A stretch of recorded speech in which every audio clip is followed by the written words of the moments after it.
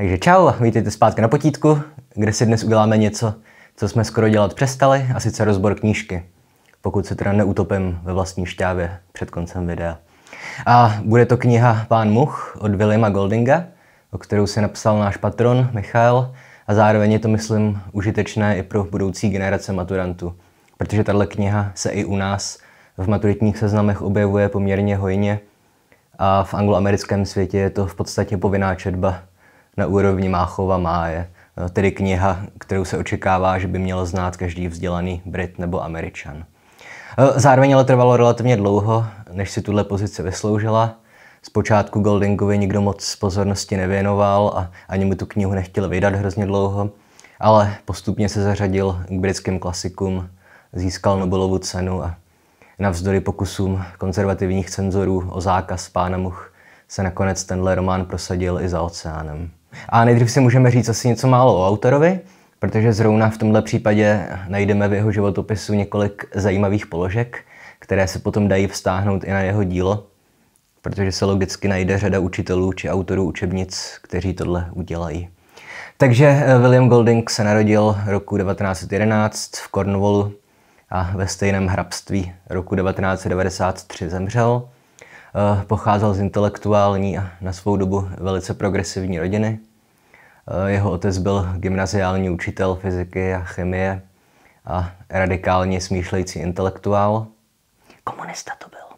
A matka se angažovala v hnutí sufražetek, eh, což byly takové první organizovanější předchůdkyně feministek. A William na přání otce studoval na Oxfordu přírodní vědy, teda se zaměřením na chemii, ale nakonec v něm vyhrál jeho hlavní zájem a změnil si obor na literaturu a filozofii. No a jelikož když vystudujete literaturu a filozofii, nemáte v podstatě jinou možnost, než se stát učitelem, stal se tedy William Golding učitelem. YouTube tenkrát ještě neexistoval. No a když jsem říkal, že některé body z jeho životopisu se dají snadno spojit s dílem, tak jsem myslel jednak to, že pracoval v chlapecké škole jeden čas, takže moc dobře věděl, moc dobře chápal mysl dospívajících kluků a dokázal si představit, čeho jsou bez nějakých striktně vyžadovaných pravidel schopní. A taky bojoval ve druhé světové válce, kdy došel podobně jako řada jiných autorů té doby k přesvědčení, že lidi jsou ze své podstaty zlí a jediné, co drží civilizaci od kolapsu, je existence státu a jeho restriktivních složek, no, tedy především policie nebo armády. On konkrétně řekl, že lidi produkují zlo stejně samozřejmě, jako produkují včely med. A pokud to někdo nevidí, tak je buď slepý, anebo padlý na hlavu. A tohle je ostatně jedno z nejdůležitějších témat pána Much. A zabývají se jim filozofové vlastně napříč tisíciletími. Pořád se nám tu střetává představa o nějakém tom vznešeném divochovi, že, na jedné straně, a představa o inherentním lidském zlu na straně druhé. A pravda je, že tahle představa o vznešeném divochovi, tedy o člověku neskaženém civilizací, byla typická hlavně pro osvícenství nebo romantickou literaturu, pro díla Chateaubriana nebo Rousseau. Ale v době, kdy tvořil Golding, tak tíhli filozofové v logické reakci na válku eh, tíhli k tomu chápat lidi spíš jako, jako špatné. No, tam hrála roli třeba filozofka Hannah Arendtova, její dílo Zpráva o banalitě zla, ve kterém vysvětlovala, jak se mohly stát vrazy a váleční zločinci z běžných a vlastně i dobráckých německých úředníků. Nebo že jo, ten nechvalně proslulý Stanfordský experiment, o kterém jste určitě už slyšeli. A ne, že bych o něm moc věděl, ale pokud to chápu správně, tak zavřeli do vězení několik dobrovolníků, rozdělili jim role a ti, kteří dostali roli bachařů, se začali chovat postupně extrémně brutálně k vězňům. A mimochodem tohle neříkám proto, že by Arentová nebo Stanfordský experiment ovlivnili Goldingovo dílo. No, ne, ale spíš pro ilustraci toho, že názor nad nějaké to esenciální nebo inherentní lidské zlo byl vlastně po válce spíš mainstream, než nějaká radikální myšlenka úzké skupiny cyniků. A zároveň se nejedná o nějaký že, objev 20. století, ale o téma, které se v literatuře či filozofii vrací neustále. Vlastně už Euripides ve svých bakhantkách ukázal, jaké následky může mít nějaká nespoutanost slepé následování zvířecích instinktů. K tomu se možná ještě vrátíme, protože na Euripida Golding celkem očividně odkazuje, stejně jako na desítky dalších klasických literárních děl. Tím se mimochodem vracíme k tomu mému talking pointu z dílu o tradici, tedy že pokud chcete chápat i moderní autory, musíte mít celkem slušně načtené i klasiky. Ale dobře, ještě ke Goldingovi bych měl teda říct, že Pán Much vyšel v roce 1954 a byla to jeho prozaická prvotina. Zároveň i nejúspěšnější dílo. Předtím napsal jenom několik asi ne moc úspěšných básniček a po pánovi Much vydal ještě řadu dalších románů, e, většinou na podobné téma, tedy vrozené lidské zlo. A zasazovali do různých období i prostředí. E, některé se odehrávaly ve středověké Anglii, jiný román má dokonce líčit střed lidí a neandertalců, myslím. Ale nebudu lhát, žádné jiné dílo jsem od Goldinga nečetl, protože upřímně nejsem úplný fanoušek ani pána Much. Dejte vědět, pokud jste od něj něco četli a jestli to stálo za to. A tohle myslím stačí, pokud jde o autorův život. Pro školní účely asi postačí, když si zapamatujete, že učil v chlapecké škole, za války se mimo jiné zúčastnil vylodění v Normandii a ztratil iluze o lidské dobrotě. Jo. A v roce 1984 dostal Nobelovku za literaturu. Taky dobré vědět. A teďka už teda k pánovi Much, o kterém má být tenhle díl především. Takže pro začátek můžu říct, že pokud jde o formální hledisko, tak tady nemáme moc co řešit. A román je napsaný tak tradičně, jak to jenom jde. Vypráví ho nějaký neosobní, airformový nebo heterodiegetický vypravěč. Děj se odehrává chronologicky a neobsahuje žádné časové skoky ani podobné legrace. A jediné, co stojí formálně za zmínku, je to, že postavy používají slang nebo hovorovou češtinu, respektive angličtinu že jo, v originále. A mimochodem není výtka, když říkám, že ta kniha je nezajímavá formálně, protože ona zkrátka staví na něčem jiném. Především na symbolice, ta je ta kniha plná, a dále na aluzích na klasické texty. A především je to něco, čemu se v angličtině říká novel of ideas. V češtině proto pokud vím nemáme úplně nějaké ustálené označení, ale jako synonymum by asi mohlo posloužit označení filozofická fikce. No, což je tedy žánr, který se v první řadě pokouší sdělit nějakou myšlenku. A formální zpracování nebo narrativ jsou až na druhém místě. No, typický příklad takového útvaru by bylo Orwellovo 1984. A tam taky nejde o příběh nebo o formu, ale nejdůležitější je pro vypravěče předat čtenáři nějaké myšlenky. Že? No zároveň ale nese pán Much výrazné stopy žánrové literatury, v první řadě je to svým způsobem postapokalyptický román. Odehrává se ve světě zasaženém atomovou válkou, ale rozhodně bych knihu navzdory jejímu významu neřadil k nějakým kanonickým textům postapokalyptického žánru, protože to, zasazení do postaposvěta má jen podpořit nějaké filozofické vyznění. Jo, nesetkáváme se tu s žádnými typickými prvky žánru, jako jsou mutanti a zombíci a lidožraví zdivočilí lidé, když to tak trošku, jo. A kromě toho se jedná o svého druhu Robinsonádu, no, tedy knihu o člověku či lidech, kteří stroskotají na opuštěném ostrově a musí se poradit bez výdobytků civilizace. Kromě Robinsona Crusoe sem řadíme třeba že Tajuplný ostrov od Žila Verna, Shakespeareovu bouři částečně. Seriál Netflixu Ztracení ve vesmíru taky se můžeme zařadit. No a případně asi největší Goldingovou inspiraci, kterou byl Korálový ostrov eh, skotského spisovatele Eh, Roberta Balantína z 19. století. Z téhle knihy si Golding vypůjčil jména protagonistů, jo, Ralph a Jack. Ovšem kompletně převrátili její vyznění. Protože v Korálovém ostrově eh, skupina stroskotaných chlapců naopak ukazuje nejrůznější ctnosti a celá tahle dneska už spíš zapomenutá kniha je vlastně oslavou britského imperialismu a spásenostného vlivu křesťanství na domorodce tak. Jo, a zesměšnění toho všeho je u Goldinga očividné a přiznané. On prohlásil, že korálový ostrov nesnáší a úmyslně vytvořil jeho parodii, aby ukázal naivitu Balantinova imperialistického uvažování. A v Pánovi Muxe, že kluci naopak chovají jako naše představa či konstrukt nějakého lidožravého divocha. Přestože se v duchu toho klasického britského nebo amerického egoismu považují za nadřazené ostatním národům, Hnedka na začátku tam říká jeden z nich něco ve smyslu, že my nejsme divoši, ale jsme Britové, my jsme přece ve všem nejlepší. A když už jsem se teda před chvíli pustil do žánrového zařazení, tak pána much můžeme svým způsobem pokládat i za young adult, že jo? nebo Bildungsroman. tedy román o dospívání. Protože tyhle romány obvykle mají trošku jinou strukturu a ukazují spíš starší protagonisty, ale eh, naše ostrovní kluci svým způsobem eh, musí dospět dost rychleji než všichni ti Davidové, Copperfieldové a Harry Potterové a nevím kdo ještě. Eh, takže i Bildungsroman by to taky mohl být. Ale víte, jak se to říká, že když si s nějakou knihou nevíš rady, tak zařadí do nějakého žánru a bude klid. Takže zrovna žánry bych asi úplně neřešil u téhle knížky.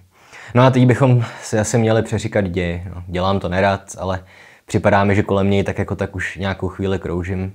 Zkusím to vzít fakt hopem a dál už budu předpokládat, že jste knihu četli. Ona konec konců není kdo jak dlouhá, celkem snadno se čte. Nebo snadno, jakože, že to není obtížná kniha, snadno se nečte. No. A takže děj. Eh, skupina britských kluků kolem 10 let, myslím 6 až 13, eh, při útěku z Británie spadne stroskotá na opuštěném ostrově. A tím se dostávají do typické situace těch dětských Robinsonát, kdy skupina dětí musí chtě nechtě předčasně dospět a, a plnit úkoly, které v civilizované společnosti připadají dospělým. Tedy jednak lovit a sbírat potravu, ale taky se pokoušet o nějaké základy politiky. Že? Potřebují nějak uspořádat to vlastní společenství. A jen tak na okraji, v knize se nevyskytují žádné holky. To je další důvod, proč tu knihu někteří kritici nebo literární vědci nemají rádi. On sám Golding říkal, že nechtěl už tak jako problematický příběh ještě přeostřovat nějakým sexuálním napětím, což se asi dá pochopit. A kromě toho by přítomnost holek v tomhle fikčním světě nejspíš způsobila, že kdyby chtěl Golding zůstat věrný své myšlence, zůstat konzistentní, musel by nejspíš příběh obsahovat i nějaké formy sexuálního násilí, což by asi na svou dobu bylo nepřijatelné. Že zvlášť, když mluvíme o dětech. No, ono by to bylo nepřijatelné i, i dneska, nejspíš. Leda v nějaké extrémně artové formě umění, která by to dokázala obhájit uměleckými kvalitami. Na druhou stranu si ale myslím, že přítomnost holek by příběhu dodala další zajímavou rovinu, protože by bylo zajímavé sledovat, jestli by je Golding pojal jako nějaký spíš uklidňující faktor, nebo jestli by to vyvedl naopak tak, že malé holky jsou stejně zlé jako malí kluci, ne ještě horší. Protože nejsem odborník na dětskou psychologii, ale myslím, že zrovna v tom věku té rané puberty umí být holky ještě o dost zákeřnější než kluci. Že? Ale zase odbíhám, sakra, zpátky k příběhu. Takže ti kluci si na ostrově zvolí eh, za vůdce Ralfa, eh, kterému pomáhá s různými politickými či organizačními záležitostmi kamarád Čuňas, eh, v originále Piggy, který představuje na jednu stranu takový ten prototyp kluka, kterého jste na základce šikanovali, protože má nadváhu, astma a příšerný zrak. Ale zároveň je to na ostrově takový hlas rozumu. Je chytrý a převážně dobrácký i když jednou taky morálně uklouzne. Tam vlastně není žádná postava, která by byla úplně jako morálně v pořádku. Ale obecně je to takový náš ostrovní intelektuál, no, ten Piggy. A zpočátku se chlapcům daří jakž tak civilizovaně existovat. Proskoumávají ostrov, který se tváří na první pohled jako takový ráj na zemi. Staví se obydlí a vymýšlí, jak se zachránit.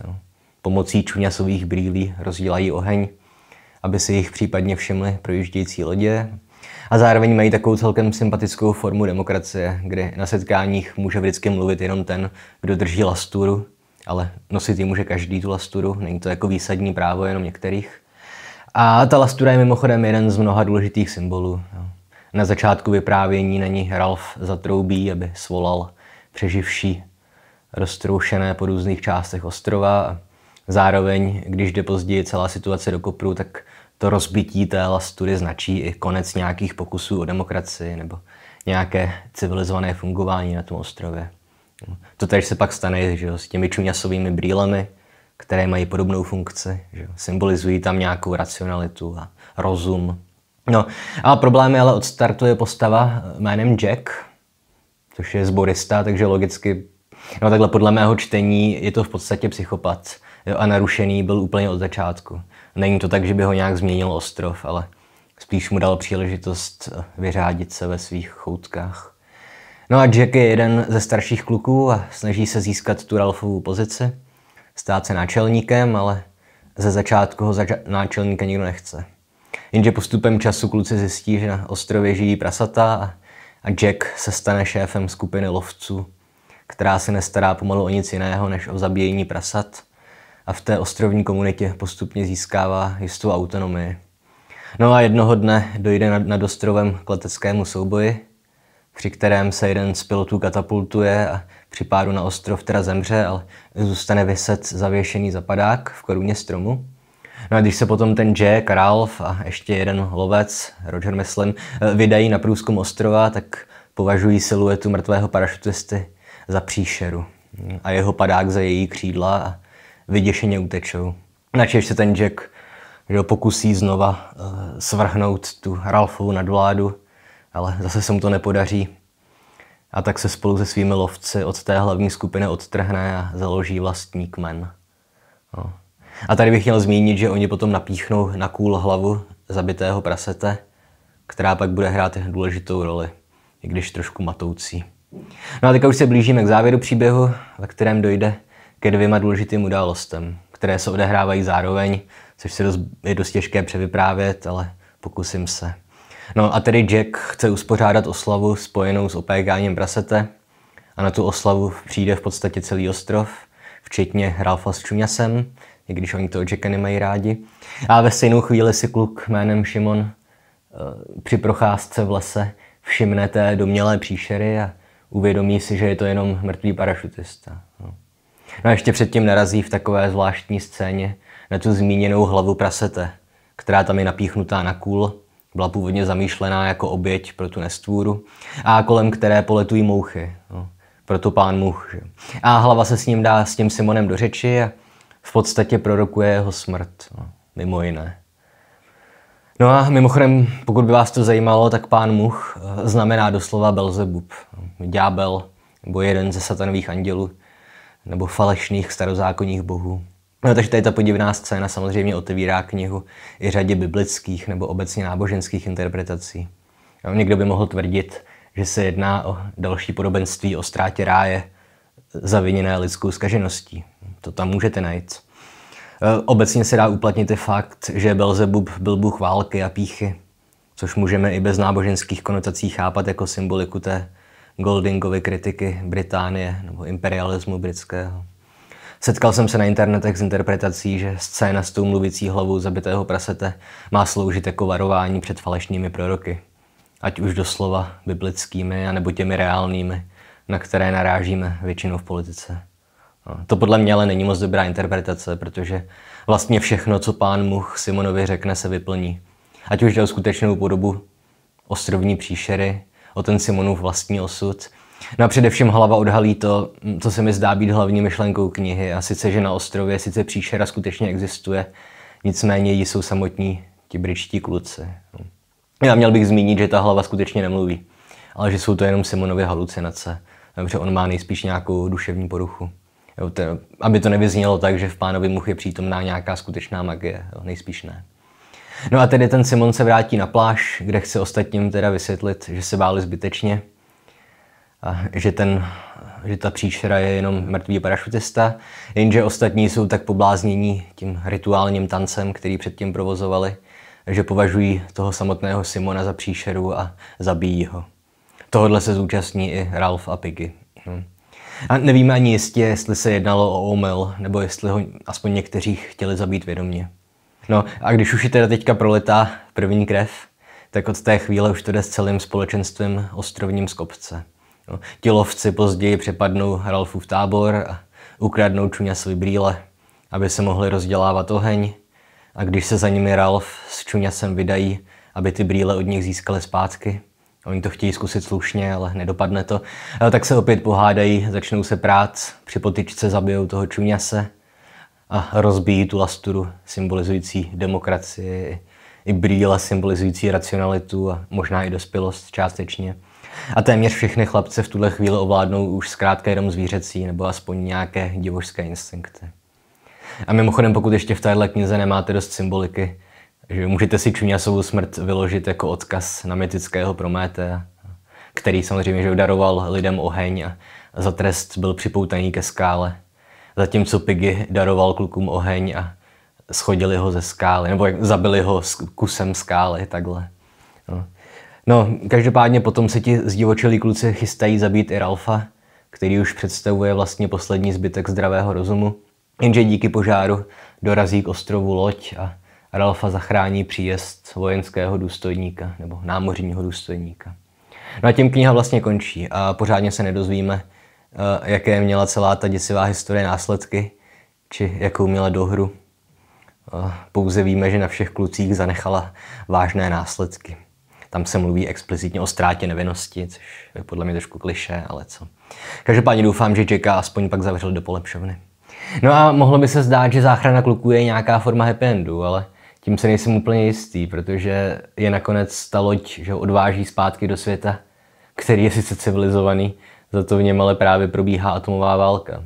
Takže jsou solidní šance, že se nakonec veškeré lidstvo vrátí do nějaké formy divožského života. A celá epizoda z ostrova tak nejspíš může být jenom předznamenáním toho, co nakonec čeká celé lidstvo. Hm. Takže tohle by byl děj. Jako obvykle jsem na něm strávil víc času, než jsem chtěl. A teď se ode mě asi očekává nějaká interpretace. Já bych řekl pravdu, tak moje čtení knihy je o dost méně sofistikované nebo méně komplexní než různá čtení, která jsem našel online. Protože, jak už jsem zmiňoval, existují výklady skrze Bibli, což tak nějak dává smysl, když se kniha už svým názvem hlásí k Belzebubovi. Existují výklady skrze freudiánskou psychoanalýzu, což je ale něco, do čeho já se pouštět nebudu, už protože nevěřím na Freuda. A existují samozřejmě výklady skrze autorův život, jako obvykle. Tedy, že jakožto učitel si nejprve zkazil iluze o dětech, později si jako voják zkazil iluze o lidech jako takových. Kombinací toho je pán Much.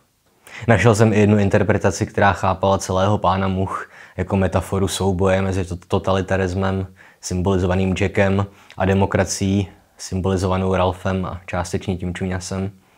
Což mi přijde jako extrémně mělké pochopení toho textu. Ale pokud bych měl vybrat jedno čtení, které se mi osobně zamlouvá nejvíc, tak bych musel jako obvykle použít své oblíbené vysvětlení, tedy, že je to spíš než odraz autorova života, odraz doby, ve které pán Much vznikl. Tedy doby, kdy se zdálo být jasné, že lidi nejsou nějací primárně dobří tvorové, ale velice prakticky se ukázalo, že příležitost dělá nejen zloděje, ale že příležitost dělá i vrahy nebo dokonce architekty holokaustu. A kromě toho ale román odráží svou dobu i v tom smyslu, že ukazuje nějaký pocit britského morálního selhání. Nějakého uvědomění, že imperiální a koloniální éra Velké Británie způsobila v nevyspělém světě škody, se kterými se vlastně vyrovnáváme dodnes. Ať už se jedná o rozvrácení Číny pomocí opiových válek, útlak Indie, který tak pěkně reflektovali třeba George Orwell nebo Salman Rushdie, a desítky dalších koloniálních zločinů, o kterých dnes obvykle ani nic nevíme, pokud se o to téma vyloženě nezajímáme. No a všechno tohle vycházelo do velké míry taky z pocitu vlastní nadřazenosti, který Britové pocitovali. No, tedy, že měli pocit, že mají povinnost učit ty v úvozovkách zaostalé a primitivní kultury, jak se mají chovat. Nutili jim křesťanství i vlastní civilizační zvyky, jako kdyby neměli Indie nebo Čína vlastní tisíce let starou kulturní tradici, která je sice nedovedla tak daleko ekonomicky a technologicky, filozoficky, ale nebyla v žádném případě podřazena evropské kultuře. A jestli můžu jenom vlastní krátkou názorovou suvku, tak mě nepřestává udivovat a zarážet, že ve Spojených státech je tenhle takzvaný excepcionalismus nejen, nejen nikoliv potlačovaný, ale dokonce podporovaný. Vyučovaný na základních školách, oslavovaný posledních 70 nebo kolik let pokračují američani v tom, co předtím právě dělali Britové a co kritizoval Golding. Tedy, že cestují po světě a nutí pod různými záminkami vlastní kulturu ostatním lidem. Záminky, nejdřív to byl boj proti komunismu, pak boj proti terorismu, příště se najde zase nějaký jiný důvod. Že? Často se mi vybavuje ta úvodní scéna ze seriálu Newsroom, kde protagonista způsobí skandál tím, že prohlásí, že Amerika není nejlepší země na světě. Mezitím si Němci z, ode- z hymny odebrali, že Deutschland über alles. No, na druhou stranu ale pán Much není jenom že neproblematickou kritikou eh, britského kolonialismu a britského pocitu nadřazenosti a výjimečnosti. Jo, není to nějaký návrat k rusovskému pojetí vznešeného divocha. Protože kluci na ostrově se mění v divochy a víme už, jak tahle proměna dopadne. No a na začátku videa jsem, myslím, říkal, že Golding proti sobě staví divožství a civilizovanost. Ale když teďka nad tím přemýšlím, tak takhle jednoduché to asi taky není. Protože ano, chlapci ztratí civilizační návyky, i britské hodnoty, přestanou věřit v demokracii a racionalitu a místo toho zavedou totalitu a nějaké divožské rituály, jako je že, to pomalovávání tváří nebo nějaké hypnotické tance, nebo jak to mám nazvat. Jenže problém je, že civilizace, která je splodila, se momentálně nachází v atomové válce. Takže ve vyznění knihy jak si chybí alternativa. Evidentně civilizace selhala, ale divožství taky není možnost. Jo. A mně osobně připadá téma té knihy jako v první řadě celkem očividně pesimistické a nihilistické. A opět, když se podíváme na kontext, tak Golding opět jenom odráží nálady své doby. Konečně v přibližně stejné době se s podobnými problémy potýkali francouzští existencialisti třeba. I když u nich byl větší důraz kladený na absurditu lidské existence jako takové, nešlo jim primárně o problémy lidského zla, i když se jim taky zabývali. Peklo jsou ostatní lidé.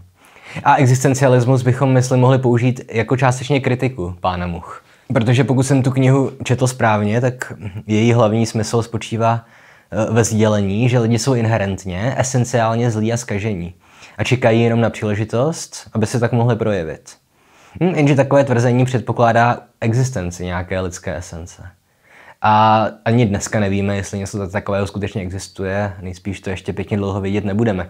Ale já přeci jen no, věřím, chci věřit Sartrovi v tom, že existence předchází esenci, jo? nikoliv naopak. Zase ale chápu, že Golding stvořil pána Much v době, kdy se zdálo, že zkrátka to tak není. No. A pravda taky je, že zmíněný Stanfordský experiment, no, Milgramův experiment, další, by mohly sloužit jako argument ve prospěch té esenciální lidské skaženosti. Že? Na druhou stranu oba tyhle experimenty, pokud vím, měly nějaké metodologické i etické problémy a asi je nemůžeme brát zase tak úplně vážně. No, ale bych to už nějak uzavřel. Na začátku jsem říkal, že pán Much se dá zařadit do mnoha různých žánrů, ale pro mě je to asi v první řadě filozofická fikce, filozofický román, novel of ideas. A takové texty mám potřebu soudit právě na základě jejich ideologie nebo filozofie. Protože ano, je to dobře řemeslně zpracované, máme tam různé symboly, které můžeme rozebírat, jo, brýle, lasturu, pána much, máme tam odkazy na klasiky, jo, na Shakespeareovu bouři, na různé Robinsonády, na Euripida nebo Hesioda. Ale ve výsledku myslím vždycky, když mluvíme ve škole či hospodě o pánovi much, přeci jen nejvíc nás zajímá jeho hlavní myšlenka. A nejsem si tak úplně jistý, že mě četba té knihy jako něco naučila, nebo mě o něčem přesvědčila.